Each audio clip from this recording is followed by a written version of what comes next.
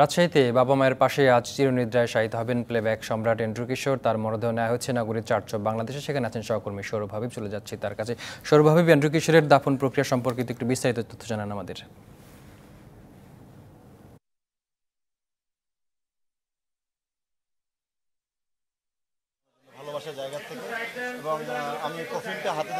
ইব্রাহিম, ধন্যবাদ আপনাকে। আপনি জানেন, গত ছয় জুলাই আমাদের বাংলাদেশের যে প্লেব্যাক সম্রাট, যা যিনি কয়েক দশক ধরে রাজত্ব করে এসেছেন এই বাংলাদেশে এবং বাংলা ভাষাভাষীদের মাঝে, তিনি কিন্তু গত ছয় জুলাই দীর্ঘদিন ক্যান্সার রোগে ভুগে রাজশাহীতে বোর্ডের ক্লিনিকে শেষ নিঃশ্বাস ত্যাগ করেছেন এবং এই শেষ নিঃশ্বাস ত্যাগ করার পর থেকে তার লাশটি রাজশাহী মেডিকেল কলেজ হাসপাতালে হিমাগারে রাখা ছিল, কারণ তার একমাত্র ছেলে সপ্তক এবং কন্যা সংখ্যা, তারা দুজনেই অস্ট্রেলিয়া প্রবাসী, তারা এক ছেলের গত সাত তারিখে এবং মেয়ে গত তেরো তারিখে দেশে ফিরেছেন। ফেরার পরে আজকে সকালে ধর্মীয় আচার অনুষ্ঠান হয় চার্চ অফ বাংলাদেশে কাজীহাটা এলাকার এবং এই এই চার্চ অফ বাংলাদেশেরই যে কবরস্থান আছে খ্রিস্টানদের সেই কবরস্থানে এখন আনা হয়েছে। এই কবরস্থানে আনার পর এখন অনেকেই শ্রদ্ধা জানাচ্ছেন। ইতিমধ্যে জানিয়ে রাখছি যে এখানে রাজশাহী আসনের সংসদ সদস্য- সদস্য ফজল হোসেন বাদশাহ চলচ্চিত্র শিল্পী সমিতির সাধারণ সম্পাদক জায়েদ খান শিল্পী ইথুন বাবু সহ অনেকেই এসেছেন, অনেক গুলিজন এসেছেন, তার বন্ধু, পরিবারের স্বজনরা এসেছেন। আমরা একটু কথা বলব চলচ্চিত্র শিল্পী সমিতির সাধারণ সম্পাদক জায়েদ খানের সঙ্গে।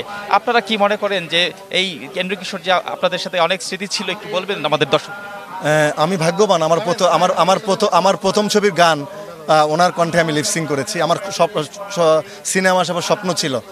উনি ওনাকে দেখে থেকে আমরা আসলে সিনেমা দেখতে যেতাম। ওনার আমরা যখন ইলিয়াস কাঞ্চন স্যারকে ফারুক স্যারকে আলমগীর স্যারকে দেখতাম সোহেল রানা স্যারকে আমার মনে হতো যে বোধহয় পনেরো জন ওনাকে দেখেছি মনে হচ্ছে উনি নায়ক। তো সেই ভালোবাসা থেকে আমরা এই রাজশাহী এত দূরে এসেছি করোনার মধ্যেও শিল্পী সমিতির পক্ষ থেকে আমার মারুফ আকিব জয় চৌধুরী আমরা আসছি শুধুমাত্র ভালোবাসার টানে।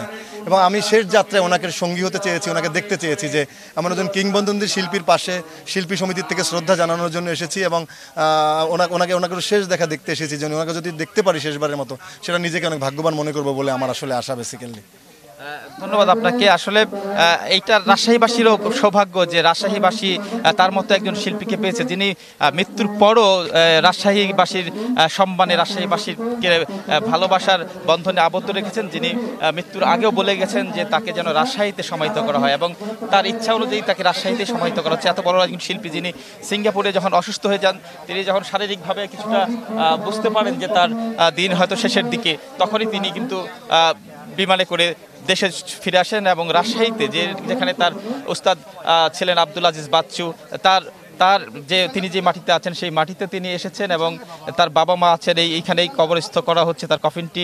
দেখতেই পাচ্ছেন দর্শক আহ, কিশোরকে এখানে সমাহিত করা হচ্ছে দেখতেই পাচ্ছেন দর্শক। এবং এই এই যে তার শূন্যস্থান এই শূন্যস্থান হয়তো আর কোনোদিনই পূরণ হবে না।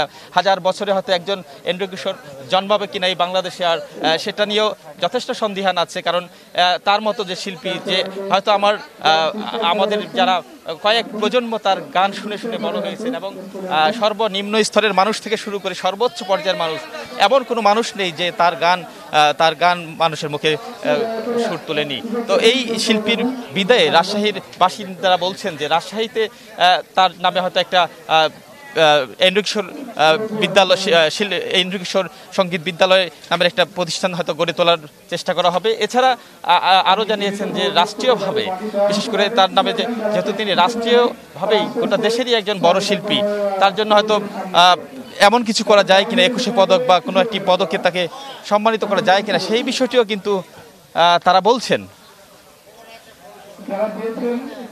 সেই বিষয়টিও তারা বলছেন, দাবি জানাচ্ছেন এবং তার পরিবারের পাশে যেহেতু তার চিকিৎসা করতে গিয়ে তার পরিবার অনেকটাই ক্ষতিগ্রস্ত হয়েছে সে ক্ষতিগ্রস্ত হয়েছে, সেই জন্য তার পরিবারের পাশেও যেন সৌরভ হাবিব, অনেক ধন্যবাদ যুক্ত হবার জন্য।